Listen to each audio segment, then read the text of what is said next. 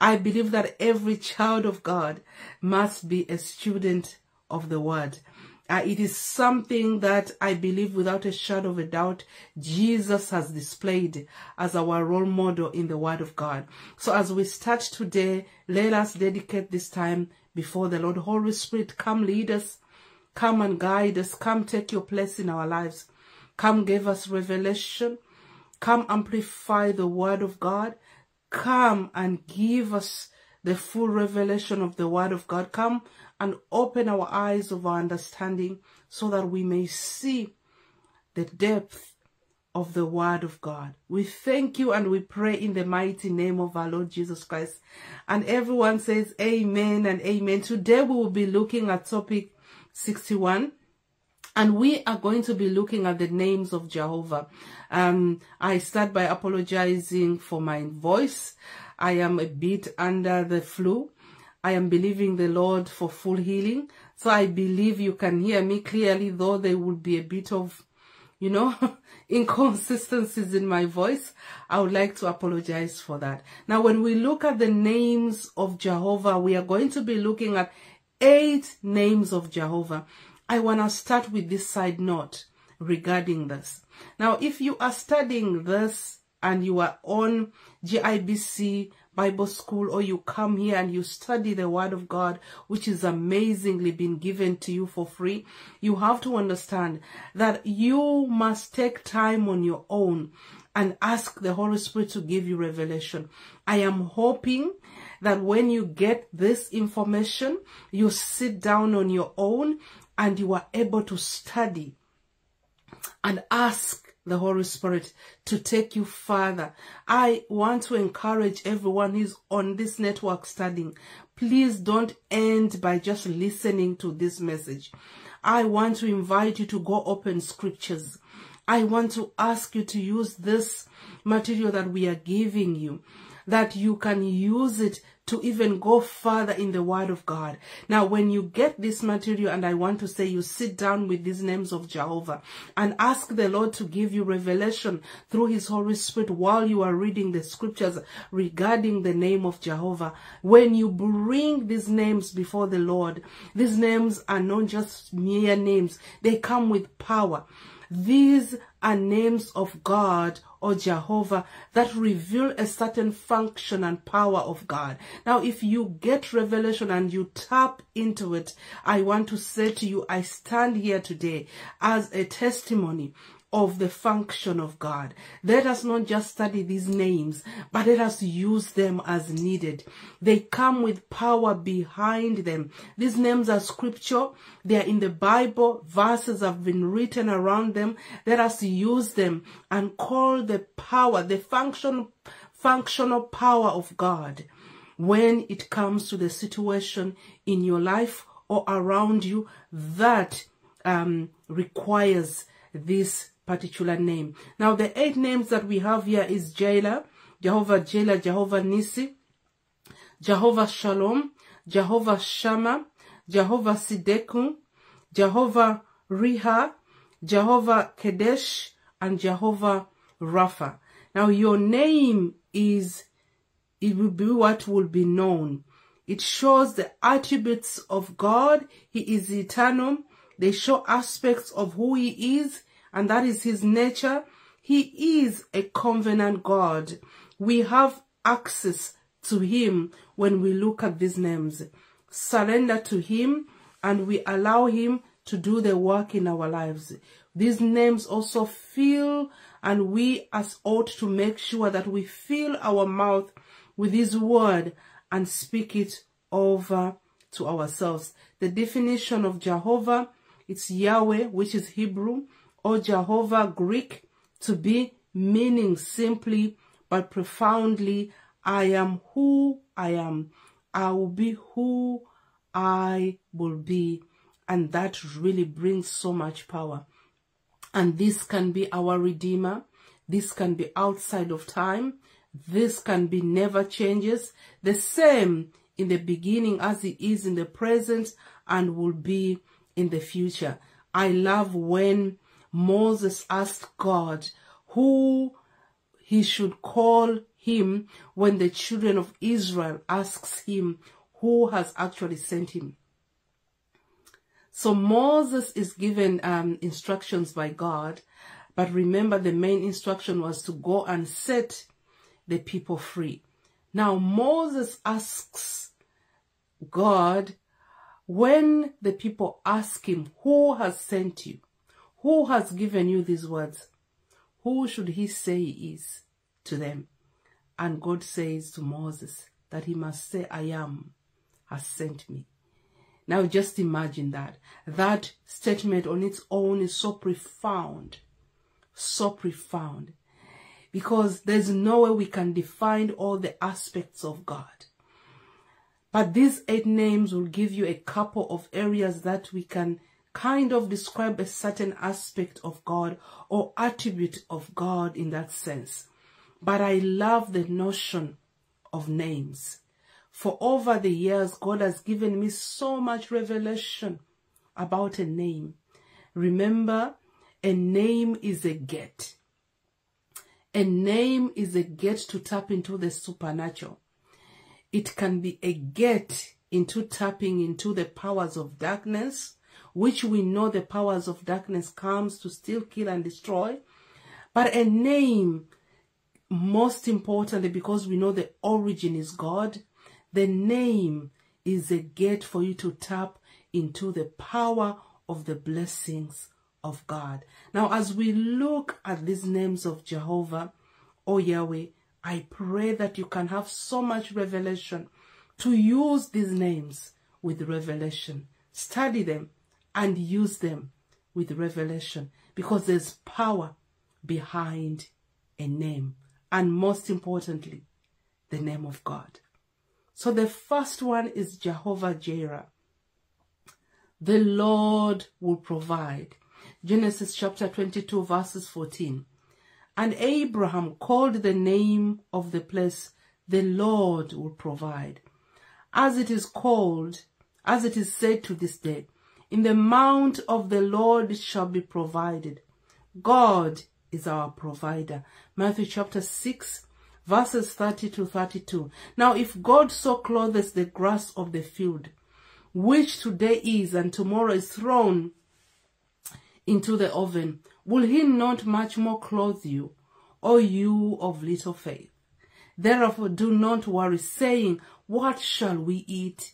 Or what shall we drink? Or what should we wear? Verse 32. For after all these things the Gentiles seek, for your heavenly Father knows that you need all these things. Now, if you are right now in that season where you are requiring the provider to come in, the provider in whichever sense you are asking, you want him to come in. Tap into this. It is amazing that in Matthew chapter 6, we see Jesus himself, the Son of God, himself bringing the Father in and giving this aspect of the Father to us. You know what is so, so powerful? Is that the Bible says here, you of little faith. In other words, why are you worried when you have a God who is your provider? Tap into this provider by speaking this aspect or attribute of God in your life. Let us prophetically speak this aspect in our life. I have seen and tapped in this so many times. Now the enemy comes and shows you areas whereby you are going like, where is God? Now instead of you allowing the enemy to push the question of where is God, why not you stand in the real answer? And this is Jehovah, as we can see Jireh. Stand and call on Jehovah Jireh, the provider. Right now in your situation, you will be amazed the power you tap in. I want to say again, to repeat this. It is so important that you have a revelation. The moment you have an encounter with this Jehovah Jireh, I want to say to you, child of God, there will be no place in which you will doubt that God can provide. I have seen this the moment I encountered God the provider. Regardless of how huge the need is, He has come through. regardless of how huge the need is. He has always come through. He has every single time come through. Has he come through on my time? No, on his terms. On his terms and on his time. But he has always come through. Tap into this aspect of God. The second one is Jehovah Nissi. The Lord is my banner. Exodus chapter 17 verses 15. And Moses built an altar and called its name, The Lord is my banner. There is always a battle, but keep your hands raised to God. Believe that his word is true. He is our banner, our victory. Isaiah chapter 55, and we can see verses 11, it says, So shall my word be that goes forth out of my mouth. It shall not return to me void, but it shall accomplish that which I please. It shall prosper in the thing for which I sent it. Now this is the Lord our God. Now when you read the word of God, and you can also read Isaiah chapter 54, it talks about that no weapon forged against us shall prosper. And every tongue that shall raises up in judgment against us, the Bible says we shall condemn. And how come that? Because the Lord is already our victory. He has already given us victory. Now, when you look at this aspect, attribute of God, the Lord is our banner. The Lord has already given us victory. Now, it gives me just a just a picture of I remember years when we used to go into sports and we maybe our team was playing and we are holding the banner up and that is the banner of the logo of our school, of our team. But it is something that we, we don't put down. If you got tired, you gave it to another one. Now, there was also a banner that was constantly standing on top of that field of the, the teams that are um, are competing. And that banner sometimes was to just inform everyone that these are the teams that are competing. But it was also to remind the team that we are here for them. And it is so important to understand that God is, is, is our banner. He has already given us victory. It's in our hands. And victory has already been lifted in the air. And you as a child of God must lift up your eyes should I say your head? but it's better I say your eyes. Lift up your eyes and look at that banner. The victory is already given to you. It's already done. And Moses, uh, sorry, David says, um, I'll lift up my, my eyes unto the hills. Where will my help come from? And it says, my help will come from the Lord God Almighty, the creator of heaven and earth. That is where we lift our eyes. We lift them up and we look at the banner who is our God. Are we looking at the skies or the clouds? No. David is talking about I lift up my eyes into the heaven and I will look at my banner and that is Jehovah. As we can see here, Nisi, our banner. Get in there and if you need that strength in your life, tap in for that gate is available. The third name is Jehovah Shalom. The Lord is peace. This is something that I love. I know that I love all of them, but I think for so many seasons I've tapped into Jehovah uh, Shalom. Judges chapter 6 verse 24. So Gideon built an altar there to the Lord and called it the Lord is peace. To this day it is still in Ophrah of the Abiezrites. We need to find peace in our battles and specifically in our Christian life. We have to find peace. And that peace has to move from peace to rest. I always say that our peace must move from a place of just peace to a place of just more than peace, which is called rest. Rest in the Lord. God told the children of Israel when they they took over the land of Canaan. At a particular time, he told them that I give you rest on all sides. They shall be rest on all sides. And that is what God desires from us. Not just peace, but to move to a place of resting in the Lord. When we are weak, he becomes strong. Second Corinthians chapter 12 and verse 10. Therefore I take pleasure in infirmities, in reproaches, in needs, in persecution, in distresses for Christ's sake. For when I am weak, then I am strong. In our weakness, he is our strength. Who? Our parents, who our partners, no God is our strength. Second Corinthians chapter 12 and verses 9. And he said to me, My grace is sufficient for you, for my strength is made perfect in your weakness. Therefore, most gladly, I would rather boast in my infirmities, that the power of Christ may rest upon me. Very importantly, no matter what you are going through, find the peace of God. Find Jehovah Shalom. And I have, I, I love to say this again. When you're a Christian, you are not exempted from attacks, from troubles of this world. You are going to face them until the day you are taken into glory to be with Him. We do not only have to have peace when we are in that place of glory. He has given us peace today, here where we are.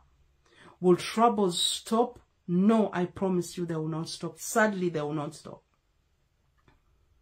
But God has promised us that there is peace that we can tap in. We will not cry like the world around us.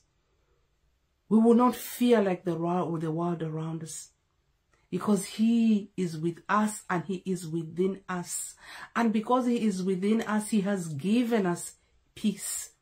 If right now you are watching me and you are struggling, you are anxious, you are having uh, panic attacks, you are anxious, you are restless, I want to to you, tap in the gate of peace.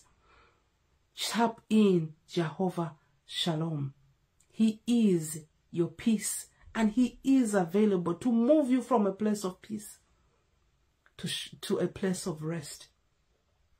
And when you get that peace, child of God, I want to say to you, guard it with everything inside of you. Guard it jealously and don't allow the enemy to take it away. The enemy is looking for these precious things that we are holding on to. If the enemy can take away that peace from you, I am telling you something, you have lost something big. As a child of God, desire to be in that place of rest and do not allow the enemy to remove you from that place ever. Guard it jealously. The things that are happening around us, the attacks, um, the offenses, everything that the enemy is trying to do around us, he wants to move us from that place of peace. Because in that place of peace is where we operate as children of God. The next one is Jehovah Shammah. Now the Lord is there. Uh, Ezekiel chapter 48 verse 35. All the way around shall be 18,000 cubits. The name of the city from that day shall be the Lord is there. Ezekiel saw, saw Jerusalem where God was. God promised his people that he was there and not to lose hope. Jesus is coming back, so we must not lose hope. Revelation chapter 19, verses 16 says, And he shall, on his robe and on his high, on his thigh, he shall, and he, he has, repeat this, and he has on his robe and on his thigh a name written King of Kings and Lord of Lords. Now he lives in us. We are temples of him, never to leave us or forsake us. Hebrews chapter 13 verse 5 and Deuteronomy chapter 31 and verse 6 and you can read that and find that out. But one thing i want to say here is that when you tap into this jehovah shammah you get to understand that he is with you. He will never leave you. He will never forsake you. Child of god in the time of grieving and mourning he has not left you He has never and he will never, even in the time of grief, which is one of those times where we feel so alone because we have so many people around us, but at that particular time, we feel like we are alone. He says, I am with you, even in that time. I will never leave you or forsake you. Whatever you are going through at this particular time, He is with you. Just tap into this gate. Just tap into Jehovah Shammah. And amazingly, the glorious thing ever is that Jesus Christ is coming back for us. We are not left even on this earth after this. Jesus Christ is coming back for us. That is how much we are loved. And tap into that and understand He is here with you. But He's also coming back for us. The next one is Jehovah, sorry, my notes. It's Jehovah Tsidkenu, the Lord our righteousness. Jeremiah chapter 23 verse 5 to verse 8. Behold, the days are coming, says the Lord, that I will raise to David a branch of righteousness. A king shall reign and prosper and execute judgment and righteousness in the earth. In his days, Judah will be saved and Israel will dwell safely. Now this is his name by which he shall be called the Lord our righteousness. Therefore, behold, the days are coming, says the Lord, that they shall no longer say, As the Lord lives, who brought us up, the children of Israel, from the land of Egypt. Verse 8 But as the Lord lives, who brought us up and led the descendants, the house of Israel, from the north country, and from all the countries where I had driven them, and they shall dwell in their own land. We cannot be righteous without Jesus. Jesus is prophesied already in Jeremiah that he's going to come. And he is already called the Lord of our righteousness. In Ephesians chapter 2, verse 13, it says, But now in Christ Jesus, you can once were far off have been brought near by the blood of Christ. That is how far we were, but we have been renewed brought near through the blood of Jesus Christ. And it's so important that we get to understand that righteousness is not achieved by works. Righteousness is only achieved through Jesus Christ. So how do you achieve that? You achieve that by receiving him Jesus Christ as your Lord and Savior. And the moment you do that, you are accepting that I am a fallen man. I have sinned and I am disconnected from God. And today I receive the righteousness of God through Jesus Christ. And the moment that is done, then you are connected to a relationship through God. And it's very important for us as children of God to understand. And this is the Jehovah that we are talking about that connects us. He's our righteousness and he has given us Jesus Christ. The next one, Jehovah Rahai. Now the Lord my shepherd. Psalms chapter 23 and verse 1, famously and very powerful. The Lord is my shepherd. I shall not want.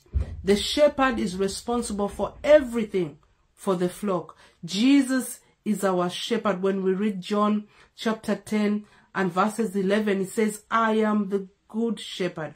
The good shepherd gives his life for the sheep. Now, when we look at the Lord here, and we tap into this gate.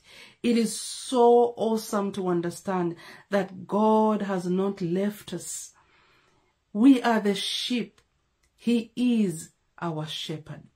The Bible says they I shall not lack anything. In other words, when you have a shepherd as God, you shall not lack anything. Now we are talking about anything. Now this Bible that I'm reading here says, I shall not want. Because I have a shepherd, I am full. I have everything that I need. We don't have to get anything out of God. We have everything we want because he is our shepherd. And if you are in wanting, it is available for you to call him and ask him to come into your life. I want to repeat this, children of God. We don't have to get anything out of God. He has got everything that we need, everything that we want. He has got it. So many times we tell ourselves we are children of God, but we go out to get what we want. We go out of God. We go out and we disobey his word. We don't dwell in his word. We don't dwell in a place of faith. My father, you are my shepherd. You will take care of me. We go out. It's just like the sheep because the shepherd looks after the sheep. Just like the sheep going from their shepherd and going to another shepherd to get something they want and then they come back to this shepherd for a specific thing. God is our shepherd and we shall not want because why? He provides every aspect of our life is provided through his word. He provides it. The next one is Jehovah Kaddish. Now the Lord our sanctifier. Leviticus chapter 20 verse 7 to verse 8. Consecrate yourselves therefore and be holy, for I am the Lord your God. And you shall keep my statutes, perform them. I am the Lord who sanctifies you. We can only be holy when Christ wraps his garment of holiness around us and this can be seen in second peter chapter 1 and verse 4 by which have been given to us exceedingly great and precious promises that through these you may be partakers of the divine nature, having escaped the corruption that is in the world through lust.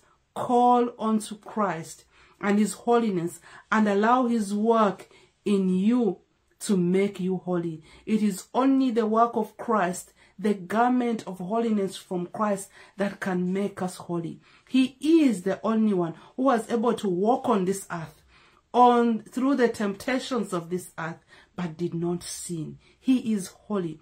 Wrap yourself around the garments of Jesus Christ through the Spirit of God, and you will also walk as holy. The last name, Jehovah Rapha, the Lord our healer. Exodus chapter 15 verse 25, and said, If you diligently heed the voice of the Lord your God, and do what is right in his sight, give ear to his commandments, and keep all his statutes, I'll put none of these, these sicknesses on you, which I have brought on the Egyptians, for I am the Lord who heals you. Jesus has paid the ultimate price. It is already done. First Peter chapter 2 verse 24 who himself bore our sins in his own body on the tree, that we, having died to sins, might live for righteousness, by whose stripes you were healed. Now, I know this is well, well known, practiced. It is so important for me to re-emphasize this. Child of God, are you needing healing? Now I'm talking about healing emotional healing, and physical healing. He is available. Jehovah Rapha is available. Call unto him. Tap into the revelation of this God that is the healer. When you tap into this revelation and you encounter the God who heals, Yahweh who heals, I am telling you something. You will understand that God, according to his word, God, according to his word, does not want you to be afflicted with sickness. He wants to heal you completely. If you are right now down with depression, Jehovah Rapha wants to heal you. Get into the word of God. Ask for revelation. The moment your mortal mind will get out of that and get the revelation, you will see tap into God the healer. We must call on each of these names and understand that God loves us and wants to show himself to us. God bless you.